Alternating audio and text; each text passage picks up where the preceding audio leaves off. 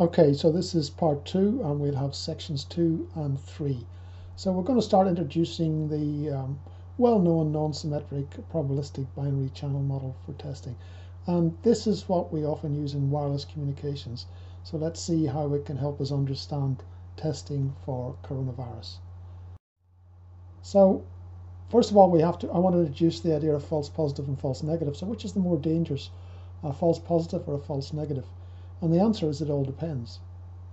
So if I'm looking at, for example, um, virus detection, false negative would seem to be the worst because if you tell someone that they don't have the virus, uh, but they actually do, false negative, then they go out and infect other people. If you are false positive, you tell them that they have the virus, but they don't, well, they just isolate themselves for a week or two weeks, so it's not quite as much of a problem. If you're doing antibody detection, uh, false positive would seem to be the worst because you uh, test positive, uh, and it looks as though that you're now immune to the virus, so you head off uh, and uh, you take risks and you can get infected. If you're looking at nuclear missile detection, then it would seem both are serious. A false positive means that you detect an incoming missile uh, where there isn't one, and you launch nuclear missiles against um, other countries and obliterate them when you haven't actually been attacked. A false negative is um, where you say there is no missile coming in, but there actually is, and you get nuked and obliterated. So uh, there is no simple answer. It depends on what is the application. So introduction to nomenclature. What are true positive, true negative, false positive, and false negative? So let's take a simple example. Let's look at diabetes prediction from concentration of glucose in blood. Let's assume 60% of the population have diabetes and 40% do not, just, just for simplicity. I'm not saying this is the situation. And we're going to use a little smiley face for someone who has no diabetes and a crying face for someone who has diabetes. So if we take a blood glucose level and we set a threshold, and at the top, we have those people who test positive, and at the bottom, we have those who test negative. So here's the first person who has no diabetes and they correctly test negative. Here's the second person who has diabetes and they correctly test positive. The next person uh, tests negative, they don't have diabetes, and so on. Until we get to this, well, these two guys here. Sorry, these two, this one. So this one has diabetes and tests negative, which is wrong. Uh, that one's okay. Uh, that one's wrong because that's someone who has no diabetes but tests positive, and that one's fine. And that one is okay. So you can say that in the bottom left hand corner, that's a true negative. So we're looking at the green, these are all the negatives.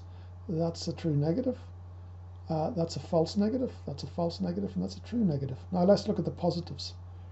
That's a true positive, a true positive, a true positive, a false positive, and a true positive. So now from that, uh, what we can say is we have eight conditional probabilities. So have 60% of the population of diabetes and 40% did not. So within the country, the following test probabilities. Uh, the number of true positives is 4. You can count those. The number of true negatives is 3. Number of false positives is 1. And the number of false negatives is 2. So 40% uh, true po positives, 30% uh, true negatives, and 10% false positives, and 20% false negatives. So now you can do this simple conditional probability. Now my, I can't show my cursor because of the way I'm recording this on the screen. So if you look at the first line where it says probability you will test positive, and that vertical line means conditioned on you have diabetes. So the probability that you're going to test positive conditioned on that you have diabetes is the number of true positives, which is uh, 4, over the number uh, 6. Now, where do we get the 6 from? Where do we get the 4 from? So we're looking at the probability that you'll test positive given that you have diabetes. So many people have got diabetes. There are six little crying faces. And the number that will test positive of those six are four. There are four crying faces in the pink area. So we get four over six. So there's a 67% chance that you will test positive given that you have diabetes. Likewise, what's the probability you will test negative given that you have diabetes? Again, six little crying faces who have diabetes. How many of those land in the green area? We have got two, so we've got two over six. So there you can get um, four conditional probabilities. And now there's eight in total.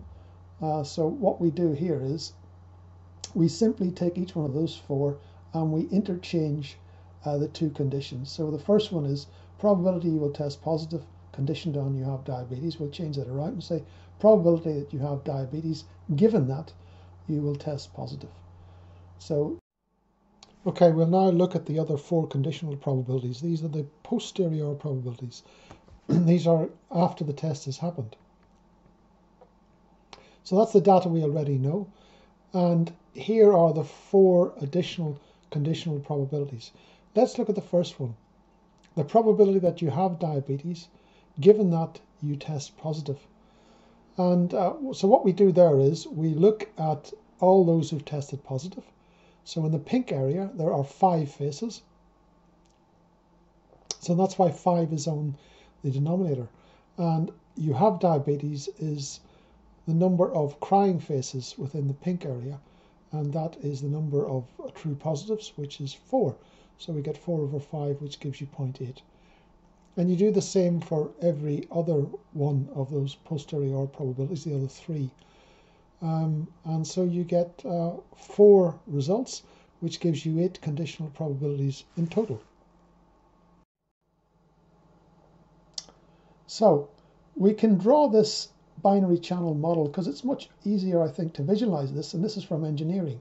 So what we've got on the left-hand side are the inputs, the probability that you have diabetes and the probability that you don't have diabetes. And then what we've got on the right-hand side is the probability that you test positive, the outputs, and the prob and if we want to work out the probability that you test positive, it's the probability that you have diabetes times the probability you will test positive given that you have diabetes plus the probability that you don't have diabetes times the probability you will test positive given that you don't have diabetes. So that's how you get the outcome probability that you test positive. You get true positives, the people who have diabetes coming through, and you get false positives, the people who don't have diabetes coming through. Likewise, for the output probability you will test negative, you get that coming in two different ways you get the true negatives coming in and you get the false negatives coming in. So there you are. We've introduced now true positives, true negatives, false positives, and false negatives. So now let's go back to COVID. So we're not looking at um, glucose and diabetes. We're going to look at COVID and we're going to have a slight change in the nomenclature. So what we really have is we have a, COVID, a test for COVID-19. We have someone who comes in uh, with crying face who's infected, I, and someone who's not infected, smiley face. The output is either positive uh, or negative. So one person who's either infected or not infected takes the test and gets either a positive output or a negative output, neither of which is 100% accurate because of false positives and false negatives. Okay, let's have a look at the physical test process because we don't want some abstract model. We want to see how it relates to the actual physical testing. So you take a swab and from that swab, you try to extract viral RNA and then you put it into the um, PCR machine. At each stage, there are errors that can be introduced. So when you get an output which is positive or negative, each one of those is uh, not going to be 100% certain. So you map that onto the uh, non-symmetric uh, probabilistic binary uh, channel. And uh, if you include the priors, which is the prevalence of the disease, the probability that you're infected, then from that you can get another uh, four uh, conditional probabilities, posterior probabilities, that is, after the test has taken place, as well as an expression for the test accuracy. Okay, so let's have a look at these parameters and let's explain them. So what we've got here is we've got the prior probabilities. So they're in red. It's the probability of being infected or the probability of being not infected. And this is the, the probability that someone, say, picked from random the population is infected, PR of I, or probably they're not infected, which is 1 minus PR of I. And uh, this is called the population prevalence. The other thing that we have in our uh, little diagram above is the sensitivity, also called the true positive rate. And that's the probability that you test positive conditioned on you being infected. So that's in blue at the very top. And this is um, how sensitive the test is to the presence of the virus. And ideally, you'd want that to be close to 1. Um, now, going down diagonally from left to right, you have PR probability that you test negative conditioned on you being infected. And that uh, and PRPI in blue have to add to 1. So if we take uh, in green um, the probability that you test negative given that you're not infected, that's called the true negative rate, TNR, and it's also called the specificity. So specificity, just like sensitivity, are words that epidemiologists use. And again, rather than trying to remember these, they should make sense. Specificity says really is it's the problem, it's about how specific is the test to COVID 19. So if the virus is, is not present, then the specificity, the, the green bit, uh, sorry, if, if the virus is not present, the test should not detect it. So ideally, that should be close to 1. So if everything was working properly, the two blue probabilities, blue probability and the green probability would both be 1, and the diagonal probabilities would be 0 because they give you the false negatives and the false positives. Okay, let's go through some of the other parameters. So again, I've highlighted these, uh, one in red and one in green, and I've already alluded to them. So this is the false positive rate, and it's called a type 1 error. And it's the probability that uh, you will test positive given that you're not infected. So that's the diagonal going from left to right. Okay? And ideally that should be close to zero. And the green uh, parameter going from top left to bottom right is the false negative rate or type 2 error. And it's the probability that you're, uh, you get a negative given that you're infected. Okay? And ideally that should be close to zero. Now, we only need three parameters to completely define the testing problem. And these are them uh, highlighted and uh, enlarged font. Uh, if you have any one of those, you can find all the others because, as I've explained before, there's always two that add up to one. And um, I've chosen those as examples. You could have chosen uh, the probability of not being infected, and you could have chosen the diagonal uh, parameters. So once you have um, once you have got this, you can then work out the posterior probabilities, uh, which depend on the priors. So at the moment, uh, we haven't worked out anything that depends on the priors, but here we're now starting to look, and these are not shown in the figures because you have to have a formula for them. So uh, taking into account the priors, uh, probably that you're infected. Then we have the precision or positive predictive value, PPI. And that's the probability that you're infected given that you test positive. So you go in and have a test, you test positive, and you say, hey, what's the probability that I'm actually infected? And it's how reliable is, is a positive test. And ideally, that should be equal to 1. You'd like to say you're 100% pos- uh, probability, 100% probability of being infected if you test positive. The other one, again, which is not shown on the figure, but we have to have a formula for that, is called the negative predictive value. So this is like um, the probability that you're not infected given that you test negative. And it's about how reliable is a negative test. And again, that should be equal to 1. So two more posterior probabilities. Posterior meaning uh, after the test has taken place. So false discovery rate. And that's the probability that you're not infected given that you've tested positive. Okay. So we're talking about false positives here. The probability that you, uh, given that you've uh, tested positive, what's the probability that that's going to be a false positive, i.e. you're not infected. And finally, you have the false omission rate. So that's the probability that you're infected, given that you tested negative, and that's a false negative. Now there's quite a lot, there's four uh, posterior probabilities with acronyms and with names that should make sense. So don't try to remember those, try to, to make sense. They do, the words have meaning, false omission rate and false discovery rate. Okay, so let's just derive those four posterior probabilities. And all you've got to do is use Bayes' law and the law of total probability. Or you could do it much simpler. You could just look at the figure above and derive it uh, almost uh, intuitively. But if we use Bayes' law, and I'm not going to go over this because you will have been taught this in your first year or at school, then the PPV, that is the probability that you're infected given that you've uh, you test positive. So we write Bayes' law, and then we expand the denominator using the law of total probability, and we get this expression.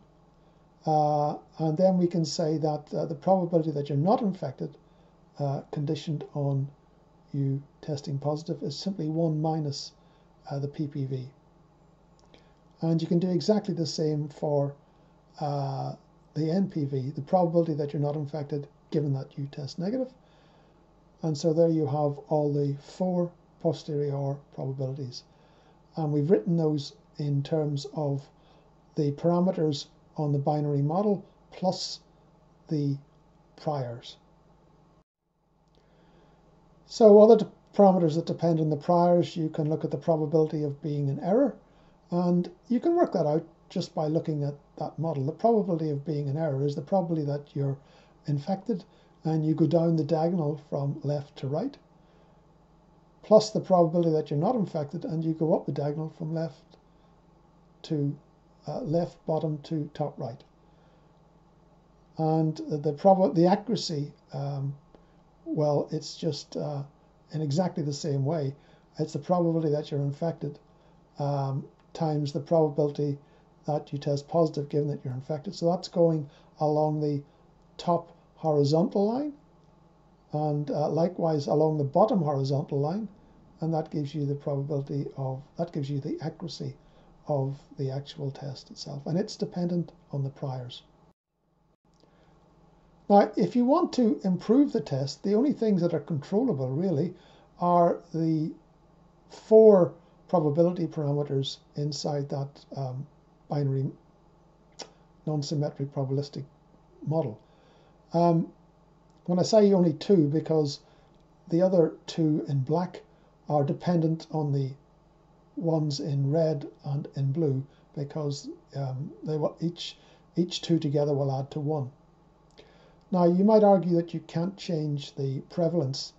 Um, I should really have a change in nomenclature here because this is talking about the prevalence in the country, but actually what it's going to mean is it's what is the belief when you uh, present for your test about whether uh, the doctor uh, thinks that you may have coronavirus or, or not.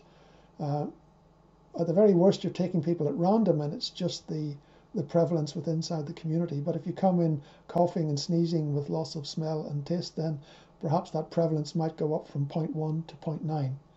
So uh, we will show later on that that is possibly controllable.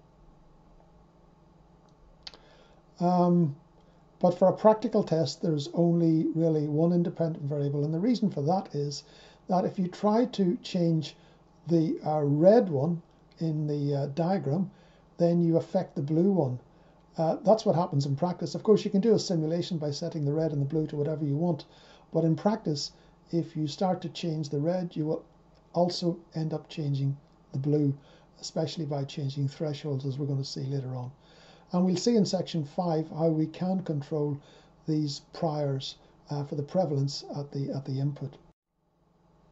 Okay, so that finishes uh, section two. Now let's take section three. So section three is four examples on the posterior test probabilities. So let's take example one. um, a doctor will be given these uh, probabilities. They're the uh, sensitivity and the specificity of the test. So he or she will already know that. So assume a man walks into a doctor's surgery for a test. Um, the doctor looks at the bit in red and says to the man, quite correctly, if you are infected with the virus, then the test will give a positive result 98% of the time. That's the interpretation in words of the probability that you will test positive conditioned on you being infected. So the man tests positive, and the doctor refers to what she said above in red. So she said, I'm sorry, but um, I am 98% certain that you have the virus. So the man's pretty devastated because he might have been hoping her to say, Well, I'm only 20% certain or 30% certain. And the question is, is the doctor correct? We'll see it's not. So, what we've got, what we really want is the probability of being infected conditioned on testing positive, not the horizontal line with the parameter probability of testing positive given that you're infected. So this is mixing up the a posteriori probability, which is going to depend, as we're going to see, on the priors. So let's assume that uh, we can work out what the uh, prevalence is. And uh, I've worked out the prevalence here as 0.0021. Uh, so if we use that information, um, we can then uh, work out the uh, diagonal probabilities. And we simply take those and we put it into one of the previous equations that we did a few slides ago. And we find that the probability that you're infected, given that uh, you test positive, is actually very low, 0.0935, which is 9.35%. So although the man tested positive, there's only a 9.35% that he's actually got. So let's look at what the doctor should have said to the patient. So the doctor knows what the prior is. Uh, she knows what the uh, sensitivity is, which is the middle part.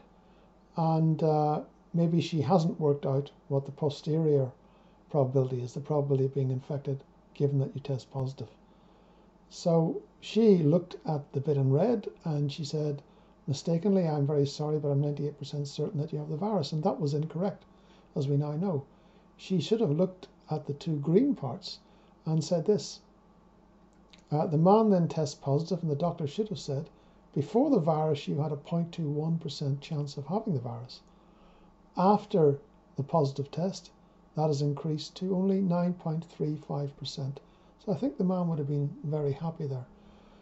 When someone walks in, the best you can do is just say what your chances of having the virus based on the prevalence. When you take a test, the test should increase that.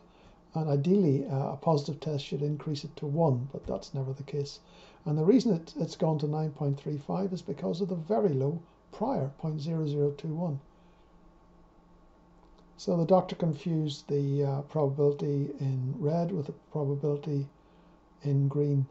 And apparently this is a classic mistake of many medical students. So let's take uh, this one, example 3. A diagnostic test uh, for infectious disease has a sensitivity of 67% and a specificity of 91%. And let's assume it's applied to 2,030 people to look for a disorder with a population prevalence of 1.48%. Analyze the expected results. So it's always better to start with drawing this uh, little input output uh, probabilistic uh, diagram. And then what you can do is you can put in the, the values here. So sensitivity, probability that you'll test positive given that you're infected. And the specificity, probability that you'll uh, test negative given that you're not infected, which is 0.91. And then the other uh, is the prevalence. Everything else follows because the probability that you're not infected and the probability you're infected have to add up to 1. The upward diagonal uh, has to be added to the blue to give you 1, and the downward diagonal has to be added to the red to give you 1. So now you've got all the details. Now, sometimes it's much easier to analyze this with actual numbers rather than probability. Well, not easy to analyze, but it just gives you a better insight. So if you assume that you've got 2,030 people, then the expected numbers with the disease will be 30. And the expected numbers without the disease will be 2,000. And you can put in all the other numbers there as well. So um, 30 are infected and 2,000 are not infected. That's on the uh, left hand side. And then you've got a 0.67 probability going horizontally uh, that you'll you'll test as positive. So 20 of those 30 will give true positives, and uh, 10 of those 30 will give false negatives. Likewise, of the 2,000 that are not infected, um, 1820 will give true negatives, and uh, 180 will blue will give false positives. So if you do that, you can write all this down. You can write the total number of true positives, false positives, true negatives, and false negatives. So once you've tested those 2,030 people, you can say that majority of those tests will be about 90% true negatives. Okay. So uh, you can then work out the um, other probabilities simply from that uh, illustration. Probability that you're infected conditioned on you testing positive. Now, rather than using the formula, you can simply look at that diagram. So the probability that you're infected given that you've tested positive, well, 200 people test positive. Of those 200, 20 will be infected. That's the horizontal line. So 20 over 200 gives you 10%. So um, that's the, um, the PPV value. Um, the probability that you will not be infected if you if you test positive. So 200 test positive, and many come through as not being infected. That's the false positives. That's 180 in the uh, bottom left to top right uh, blue line. So 180 over 200. And similarly for the other two, uh, posterior probabilities. So you get all of those. Okay, so we can analyze these results. Uh, we can say that there were 1820 plus 20 1840 correct tests. That comes from the blue horizontal number 1820 and the top black horizontal number 20, the true negatives and the true positives. So the overall accuracy without using any formula is simply 1840, total number of correct tests over 2030, oh, the total number of tests. So that's a 90.64% accuracy. And then we should know that the test is very poor at confirming the disease. So if you test positive, there's only a 10% probability that you have the disease. So if you look uh, at the red output testing positive, you can see 180 uh, came into that, which were false positives. So 180 false positives over 2030 would give 8.9% of all those tested uh, will undergo unnecessary treatment because there will be 8.9% uh, false positives. The test is very good at confirming the absence of the disease. That's the NPV, which is 99.45. So that if, if you test negative, there's a 99.45% probability that you do not have uh, the disease. So poor at confirming the disease, but good at confirming the absence of the disease. And a consequence of the NPV above is that the FOR is 0.55%, so only 10 out of 2030 about 0.49% of all those tested will incorrectly test negative and go on to infect others. And that's what you don't want to happen. You don't want a lot to um, test negative but be able to go on to infect others because it's incorrect. Okay, let's look at example 4. Let's assume that we are told the sensitivity is 0.7 and the specificity is 0.95. Um, these are roughly correct. The specificity is normally very high and the sensitivity is normally not as high. So let's assume that John uh, appears with no symptoms and James presents with fever and loss of taste both and both of them test negative. What are the probabilities that these are false negatives? So they both test negative and what they're really concerned about is could I still have the virus? Um, so again, we work out the probability of infection, and it was by the 4th of May when I was writing this, 1 over 169, which is 0.0059. So these are the low priors that will affect the results. So if you write, put in uh, all the different probabilities for the model, you get this below. And if you work out what the probability is that you're infected, given that you've tested negative, you find that it's 2%. So it's extremely low. So um, you're pretty confident there's not a false negative and John doesn't have the virus. So John doesn't have to worry. After testing negative, the doctor will say, well, there's a, only a 2% probability that this could be a false negative, and John will be happy. Now, when James presents with uh, typical COVID symptoms, so a rough estimate for him, and I'm not saying how you work out this estimate, might be since he has these symptoms, he is not going to have a probability of infected be, which is equal to the, the normal prevalence 0.0059, the doctor may assume that, well, it's probably about 0.8. And if that's the case, then given that he's tested negative, his probability of uh, being infected or his probability of a false negative now jumps up to 59%. So you can see the probability of false negative depends on the priors. And unfortunately, what happens in the media, they don't discuss that. They simply talk about specificity or sensitivity. So that's the end of part two, uh, sections two and three. And we're going to now continue to part three, which contains uh, sections four and five.